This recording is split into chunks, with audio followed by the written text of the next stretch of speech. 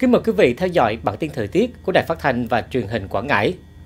Thưa quý vị, thời tiết Quảng Ngãi hôm nay có nắng lên từ sớm, trời nhiều mây khô ráo, chỉ còn mưa rào nhẹ vài nơi, nên nhiệt cao nhất ngày là 27 độ C. Thời tiết ngày mai, ngày 6 tháng 3. Dự báo, thời tiết Quảng Ngãi tiếp tục có nắng vào ban ngày, thuận lợi cho các hoạt động ngoài trời. Nhiệt độ dao động ở mức từ 19 đến 29 độ C. Tuy nhiên về đêm, nhiệt độ xuống thấp, trời rải rác. Quý vị nhớ chú ý giữ gìn sức khỏe, nhất là người già và trẻ nhỏ. Sau đây là dự báo cụ thể một số nơi trong tỉnh vào ngày mai. Khu vực thị trấn Châu Ổ, huyện Bình Sơn, nhiều mây, đêm trời lạnh, có lúc có mưa nhỏ, ngày nắng. Trung tâm thành phố Quảng Ngãi có mây, đêm trời lạnh, ngày có nắng. Thị xã Đức Phổ, mây thay đổi, có mưa rào nhẹ, đêm và sáng trời lạnh, ngày hưởng nắng. Thị trấn Ba Tơ, mây thay đổi đến nhiều mây, ngày nắng. Lý Sơn, nhiều mây, ngày có lúc nắng. Sau đây là thông tin thời tiết ở các ngư trường. Thưa quý vị, theo Trung tâm Dự báo Ngư trường Khai thác Hải sản, trong tháng 3 này, ngư trường quanh huyện đảo Hoàng Sa là nơi cho khai thác cá ngừ với năng suất cao. Thời tiết ở đây cũng có xu hướng tốt dần lên, thuận lợi cho bà con đánh bắt cá ngừ.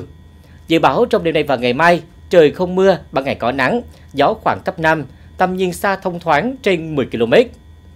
Vùng biển Vịnh Bắc Bộ trở xuống đến Quảng Ngãi, dự báo trong đêm nay và ngày mai trời còn có mưa vài nơi, ban ngày có nắng, gió hoạt động cấp 3, cấp 4. Chỉ lưu ý là độ cao sóng có lúc lên tới 3 mét. Trong khi đó, vùng biển từ Bình Thuận đến Cà Mau ra ngoài khơi phía tây huyện đảo Trường Sa, trong đêm nay tiếp tục cảnh báo có gió mạnh, gió cấp 6, giật cấp 7, có lúc giật cấp 8, độ cao sóng từ 2 đến 4 mét, biển động.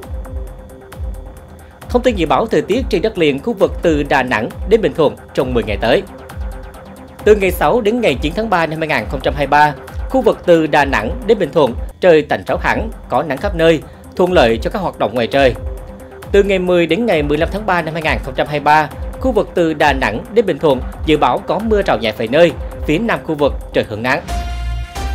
Phần cuối chương trình là dự báo thời tiết cho một số tỉnh, thành phố trong nước và thế giới. Cảm ơn quý vị đã theo dõi bản tin thời tiết của Đài Phát thanh và Truyền hình tỉnh Quảng Ngãi. Hà Nội có mây, đêm không mưa, sáng sớm có sương mù, ngày trời nắng, đêm và sáng trời rét. Nhiệt độ từ 16 đến 26 độ, độ ẩm từ 80 đến 97%. Thừa Thiên Huế nhiều mây, mưa vài nơi, sáng sớm có sương mù. Nhiệt độ từ 17 đến 25 độ, độ ẩm từ 20 đến 85%. Đà Nẵng có mây, đêm không mưa, ngày nắng. Nhiệt độ từ 20 đến 27 độ, độ ẩm từ 79 đến 90%.